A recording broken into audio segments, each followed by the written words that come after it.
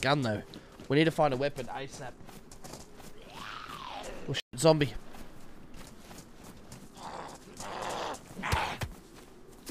Alright.